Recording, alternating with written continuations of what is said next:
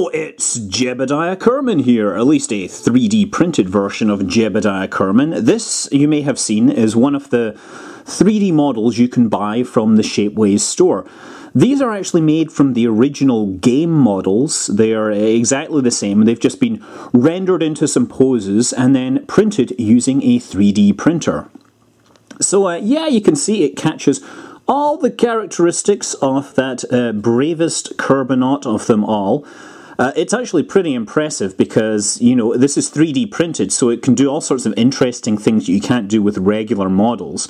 Uh, like in in there, and the the head is all in there in one piece, right? Normally, if you did this in a mold, you would have multiple pieces and then you'd stick them together because you need space.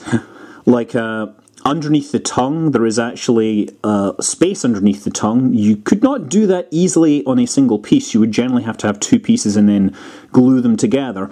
Similarly, his foot, his toe is resting on that pedal there, but his heel is not actually resting on that pedal. So you have a very thin pedal underneath this.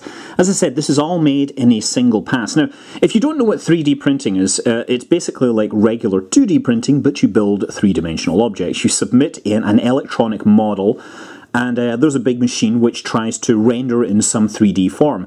Now, uh, there's some printers that use layers of plastic. They, they build up layer by layer of plastic. There's some that use can do it in a kind of elastic rubber type material. There are others which uh, can build it out of uh, you know steel or silver.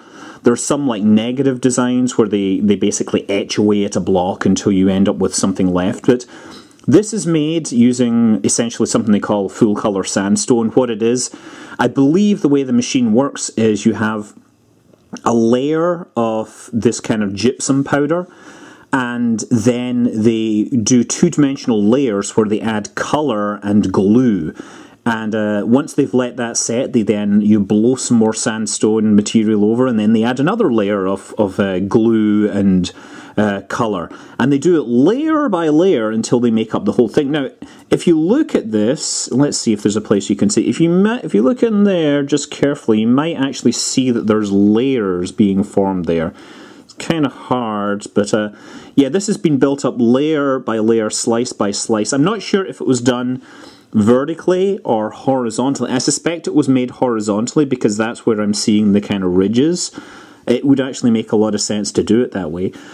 Um, but it is a very impressive technology. These are they're pretty expensive though. They're all built one at a time. There's no production line. If you were going to mass produce Kerbal toys, then you would have some toy factory produce plastic parts and then you stick them together. And then it would be a lot faster and a lot cheaper because you are mass producing it. But the startup cost means that you have to build a mold for every part. Whereas 3D printing, you basically submit an electronic design and uh, out comes at the other end a fully rendered object. And you know, it's pretty impressive stuff, but it's slow, and the machines can be very expensive. I just saw the new cutting edge machine can print in multiple material types and multiple colours in a single pass, and uh, it costs something like $330,000. But I will not be surprised if there are people that use these things. So, yeah, Jebediah Kerman, uh, hero, you know, Danger Man extraordinaire, now rendered in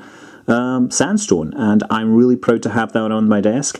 Thanks very much to Shapeways for letting me, uh, for giving me this. Essentially, this is you know something that I will treasure. It is just so important. You can also get um, you can also get Bob and Bill. They're uh, trying to steer left and right while Jebediah is more or less going straight ahead. You can get the scientist the engineer, the the flight crew, the recruit, some of the planets even. You know, there's a bunch of things in the store. They're all, you know, kind of expensive, but uh, you know, if you want them, that's great.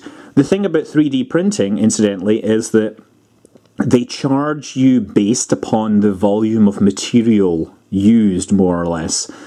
Uh, so if you have, you know, it depends on the volume of material. And actually, if, I guess if you look in here, up in his mouth, there's actually a cavity that goes inside his head, and I'm guessing that's to save on the amount of material that's used. Similarly, like there's a space under his seat, which makes total sense, but uh, that probably saves a little bit of material here and there, and yeah, I don't know. It's it's a really fascinating thing to look at to to look at how they designed these things.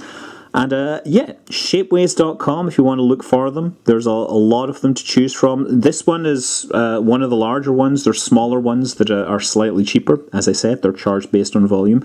They do, if you want your own designs made, you can get it made out of plastics, you can get it made out of uh, steel, silver, brass, gold plated brass, and uh, yeah, it oh, and ceramics as well. So you can make you know custom designed mugs if you really want.